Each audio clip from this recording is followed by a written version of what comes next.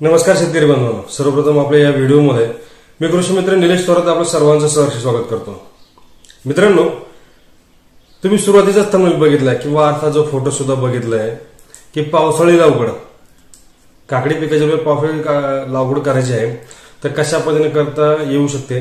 त्याच्यावर येणाऱ्या कीड असेल करपा आहे रोग आहे भुरी आहे डावणी आहे या रोगांवरती नियंत्रण कशा पद्धतीने करता येईल? त्या एक छोट्याशा व्हिडिओच्या माध्यमातून एक आपण जाणून घेऊ की पावसाळी काकडी लागवड करायची आहे. तर कोणकोणते येणारे रोगराई असतील कोणकोणत्या येणाऱ्या कीटकनाशकांचा प्रादुर्भाव राहील ते आपण आज या व्हिडिओच्या माध्यमातून जाणून घेऊ. त्यासाठी निश्चितच मित्रांनो हा व्हिडिओ तुम्ही संपूर्णपणे शेवटपर्यंत पहा आणि समजून घ्या. अजूनपर्यंत जे कोणी आपले नवीन शेतकरी बांधव असतील त्यांनी आपल्या या कृषी मित्र निलेश थोरात या युट्यूब चॅनलचा सबस्क्राईबर नसेल केलं तर करून ठेवा. त्याचबरोबर बेल आयकॉन दाबायला या ठिकाणी विसरायचं नाही. कारण का मित्रांनो जे येणारे व्हिडिओ आहे हे प्रथमतः तुमच्यापर्यंत येऊन पोहोचावे. त्याच्या पाठीमागचा हा हेतू आहे. त्याचबरोबर या व्हिडिओला लाईक करा शेअर करा आपल्या शेतकरी बांधवांना पाठवा. आणि काही सांगायचं असेल काही सुचवायचं असेल तर निश्चितच आपल्या या व्हिडिओच्या कमेंट बॉक्समध्ये सांगा. मित्रांनो पावसाळी काकडी लागवड करायची आहे. अर्थात या ठिकाणी आपल्याला पावसाळी काकडी लागवड करत असताना पूर्णपणे शेत आपलं मोकळ्या असताना मोकळं असताना या ठिकाणी सुद्धा आपण लागवड करू शकतो. किंवा काही ठिकाणी जे शेतकरी बांधवांचे अगोदरचे प्लॉट आहेत अर्थात या ठिकाणी टोमॅटो प्लॉट असेल काही ठिकाणी मिरचीचा बाग सुद्धा आहे त्याच्यावर काही ठिकाणी शिमल्याचा बाग असेल काही ठिकाणी कारल्याचा बाग आहे काही ठिकाणी दोडक्याचा सुद्धा बाग असेल किंवा अगोदर कुठलाही भाग असेल. तर या ठिकाणी लागवड करत असताना पावसाळी लागवड करायची आहे तर काय करणं गरजेचं आहे? मित्रांनो प्रथमतः आपल्या या ठिकाणी जे खत व्यवस्थापन करायचे आहे, ते अतिशय महत्वाचं असणार आहे. का बेडमधनं जे मिळणारी अन्नद्रव्य असतील जे मिळणारे न्यूट्रिशन असतील हे प्रथमतः पिकाला चांगल्या पद्धतीमध्ये मिळणार आहे त्याने न्यूट्रिशन युक्त जी खतं आहेत ती आपल्या या ठिकाणी द्यायची आहेत. तर कोणकोणती खतं दिली गेली पाहिजे?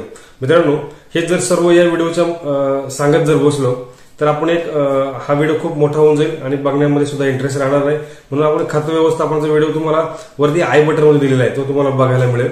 तो सुद्धा बघून घ्या. म्हणजे आपण स्टेप बाय स्टेपमध्ये आपण या ठिकाणी सांगण्याचा प्रयत्न करू आणि तुम्हाला पण समजायला सोपं होऊन जाईल. तर आई बटनमध्ये तुम्हाला खताचा व्हिडिओ दिलाय तो तुम्ही या ठिकाणी बघून घ्यायचा आहे. त्याच्यानंतर खत व्यवस्थापन केलं निश्चितच या ठिकाणी आपल्याला जी जात निवडायची लागवड करून घ्यायची तर लागवड करण्यासाठी असताना पावसाळ्यामध्ये कोणती लागवड करणं गरजेचं राहील तर पावसाळी काकडी लागवड करत असताना या ठिकाणी हिरव्या जातीची लागवड सुद्धा आहे किंवा सफेद जातीची पण आहे. तर बरेचसे लोक या ठिकाणी हिरवी पण करतात आणि सफेद पण करतात. पण जवळजवळ साठ पासष्ट टक्के या ठिकाणी हिरवीची लागवड केली जाते. काही ठिकाणी पस्तीस टक्के लागवड सफेदची केली जाते. हिरवी लागवड असेल तर हिरव्यामध्ये काही वाण आहेत काही सफेदमध्ये सुद्धा वाण आहेत. यामध्ये काही कंपन्या आहेत काही या ठिकाणी नेत्रा सीड्स आहे राशी सीड्स आहे त्याचबरोबर ईस्ट वेस्ट सीड्स आहे गोल्डन सीड्स आहे काही सानवी अॅग्रो आहे. सानवी अॅग्रोचे सुद्धा आहे चेतना सुद्धा आहे. म्हणजे बिस्का अॅग्रोचे या सुद्धा चांगल्या चांगल्या व्हरायटी या ठिकाणी आहे त्याचबरोबर नामदेव उमाजीची सुद्धा आहे भरपूर व्हरायटी आहेत. तर मित्रांनो जे व्हरायट्या लावायच्या आहेत आपल्याला त्याचा या ठिकाणी अभ्यास करणं खूप गरजेचं आहे.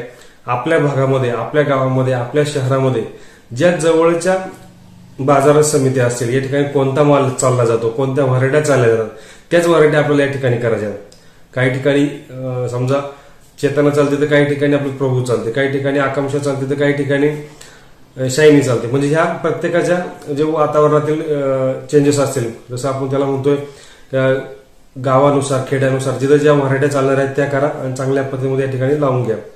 तर व्हरायट्यांची प्रथम निवड करणं आपल्याला खूप गरजेचं आहे. ते करून घेतलं.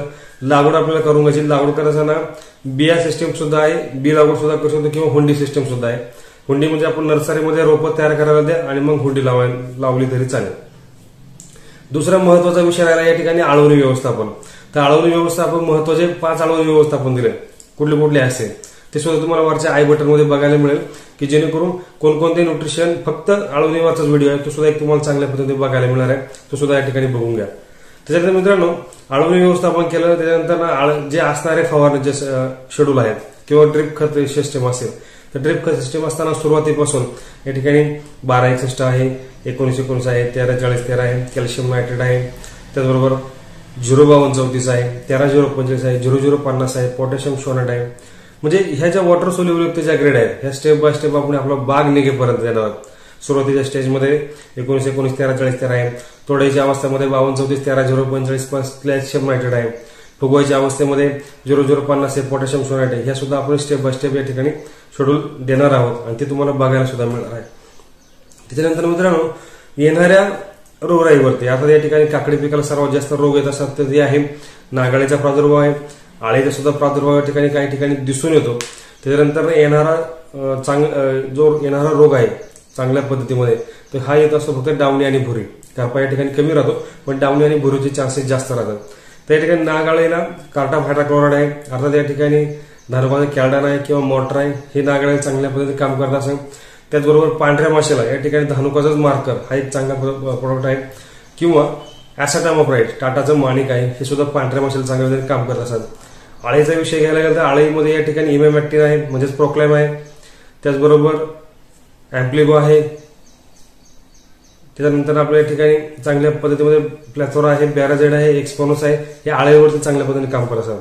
त्याच्यानंतर येणारी जी रोगराई आहे अर्थात या ठिकाणी डावणी आणि बुरे तर डावण्या बुरेला या ठिकाणी टॅगमिनिस्टर आहे आवान्सर ग्लो आहे कस्टोडिया आहे विजमा आहे पोलिटो आहे जे हाय मोलिक्युल आहेत. हे हाय मॉलिक्युल आपल्याला या ठिकाणी येणाऱ्या रोगराई अर्थात या ठिकाणी करपा आहे भुरी आहे डावणी आहे या तिन्ही स्टेजवरती चांगल्या पद्धतीने काम करत असतात तर सुरुवातीला सांगितलं या ठिकाणी नागळीला आपण तो प्रादुर्भाव वापर जे कीटकनाशक आहे ते वापरायचे पण आलटून पलटून आहे कॉम्बिनेशन फक्त एक सांगितले टेंटेटिव्ह प्रॉडक्ट आपल्यासमोर एक मांडण्याचा प्रयत्न केलाय त्यातला आपण कोणताही निवडू शकतो. नागळीचा एक मांडला त्याच्यानंतर पांढऱ्या माशीचा एक मांडलाय त्यानंतर ना या ठिकाणी करपा बुरीचा मांडला आणि एक आळ्याचा सुद्धा मांडला. म्हणजे चार मॉलिक्युल या ठिकाणी मांडले. त्याच्यानंतर पाचवी गोष्ट राहिली कापूर हार्वेस्टिंग करत असतो तोडत असतो न्यूट्रिशन सुद्धा गरज आहे महत्वाची. तर या ठिकाणी चिलेटेडयुक्त जे मायक्रोटॉन असेल ते आपल्याला या ठिकाणी फवाऱ्याच्या माध्यमातून द्यायचे. सिलिकॉन अतिशय महत्त्वाचा भाग आहे की पिकाला जर सिलिकॉन चांगल्या पद्धतीमध्ये जर मेंटेन राहिलं तर खूप चांगल्या पद्धतीने या ठिकाणी आपल्याला रिझल्ट मिळतील. त्यासाठी आपल्याला या ठिकाणी सिलिकॉन स्प्रेच्या माध्यमातून द्यायचे किंवा सॉइल ऍप्लिकेशनमधून सुद्धा देऊ शकतो. आणि महत्त्वाचा आहे तो स्टिकर किंवा स्प्रेडर कारण पावसाळी दिवस आहेत दव पडत असतं धुकं पडत असतं. आपण त्याला ग्रामीण भाषेमध्ये बाजार म्हणतोय. पानं ओली होत असतात त्या ठिकाणी आपण जर स्टिकरचा वापर जर चांगल्या पद्धतीमध्ये केला तर खूप चांगल्या पद्धतीने या ठिकाणी रिझल्ट मिळतात. कारण येणाऱ्या डावणी भुरी असेल प्रथमतः हे त्याच्यावरती येत असेल त्याचबरोबर डावणी भुरीचे जर तुम्हाला दिसायला सुरुवात कशी होत असेल तर निश्चित येणारे डावणी आणि भुरी हे प्रथमतः आपल्या कळी अवस्थेमध्ये येत असते. कारण ती कळी आहे ती पिवळी पडते किंवा जळून जाते. तर या ठिकाणी डावणी येण्याचे चान्सेस राहतात. त्यामुळे या ठिकाणी प्रिव्हेंटिव्ह स्वरूपामध्ये चांगल्या पद्धतीने या ठिकाणी डावणी आणि भुरीवरती आपल्याला कंट्रोल करून घ्यायचा त्याचबरोबर फळाची लांबी आहे शायनिंग आहे चकाकी आहे. तर निश्चित या ठिकाणी आपल्याला कॅल्शियम बोरॉन जे याचा सुद्धा वापर करायचा आहे. त्याचबरोबर फळाची लांबी शायनिंग चकाकी वाढवायची असेल तर निश्चितच आपल्याला तुम्हाला आय बटनमध्ये नवीन व्हिडिओ दिलेला आहे. तो सुद्धा तुम्ही या ठिकाणी बघा आणि चांगल्या पद्धतीने त्याचा फायदा करून घ्या. त्याचबरोबर काकडी पिकाला फुगवून आहे निश्चितच या ठिकाणी पोटॅशियम सोनाट आहे झिरो झिरो पन्नास आहे. त्याचा वापर करायचा आहे. त्याचबरोबर चांगल्या पद्धतीने करून घेणे आणि हा विशेष मित्रांनो काकडी पिकाला वेलवर्गीय पिकाला जी पिकं आहेत या पिकाला अतिशय महत्त्वाच्या ज्या दोन आहेत दोन रोगराईंचा प्रादुर्भाव दोन विषयांचा प्रादुर्भाव असेल तर एक आहे फळमाशी प्रादुर्भाव दुसरा आहे नेमॅटोडचा प्रादुर्भाव. या दोन गोष्टी आपल्याला या ठिकाणी सुरुवातीला जपायच्यात लागवड केल्यानंतर साधारणपणे जे आळणी व्यवस्थापन आहे याच्यामध्ये आपण ड्रेंचिंग ऍप्लिकेशन केलेलं आहे दिलेलं आहे. जरी काही अडचणी अडचणांमध्ये काही राहू शकतं तर निश्चित या ठिकाणी आपल्याला बॅक्टेरिया फॉर्ममध्ये या ठिकाणी पॅसोलोमायसेल आहे. किंवा केमिकल बेसमध्ये गेलं तर व्हॅल्युम प्राईम आहे जे निमेटोडला काम करतं. त्यापेक्षा या ठिकाणी मार्केटमध्ये अवेलेबल असणाऱ्या बॅक्टेरियाचं किट अवेलेबल आहे. ते किट जर आपण सुरुवातीला जर ऍप्लिकेशन केलं तर खूप चांगल्या पद्धतीने या ठिकाणी रिझल्ट मिळतात ते आपल्याला ऍप्लिकेशन या ठिकाणी करून घेते त्याचबरोबर सर्वात जास्त प्रादुर्भाव जो असेल तर फळमाशीचा आहे. कारण फळमाशीमुळे या ठिकाणी आपलं जे पीक आहे हे खराब होत असतं. तर या फळमाशीला आपल्याला मार्केटमध्ये अवेलेबल असणारे जे ट्रॅप आहेत या ठिकाणी फळमाशीचे ट्रॅप आहेत फळमाशीचे लिक्विड आहे ते आपल्याला या ठिकाणी लावून घ्यायचे आणि चांगल्या पद्धतीने फळमाशीवरती कंट्रोल करायचं. आहे त्याचबरोबर निमेटोडवरती सुद्धा कंट्रोल करायचं. आहे कारण ह्या दोन गोष्टी जर जपल्या तर आपल्याला चांगल्या पद्धतीमध्ये या ठिकाणी उत्पन्नच उत्पन्न मिळणार आहे. कारण होणारी नुकसान असेल तर एक निमेटोडमुळे माल निघत नाहीये. आणि दुसरी गोष्ट माल जर निघाला तर फळमाशी प्रादुर्भाव आहे. तर या दोन गोष्टी आपल्याला सुरुवातीपासून जर जपल्या तर खूप चांगल्या पद्धतीमध्ये या ठिकाणी रिझल्ट आपल्याला मिळालेले होणार आहे. तर मित्रांनो पावसाळी कागदावर असताना ह्या ज्या येणाऱ्या समस्या असतील याच्यामध्ये कीड असेल रोग आहे करपा आहे भुरी आहे डावणी त्याच्यावरती आपल्याला एक प्रिव्हेंटिव्ह स्वरूपामध्ये स्टेप बाय स्टेप आपल्यासमोर एक मांडण्याचा प्रयत्न केला आणि निश्चितच तुम्हाला आवडला असेल अशी अपेक्षा करतो.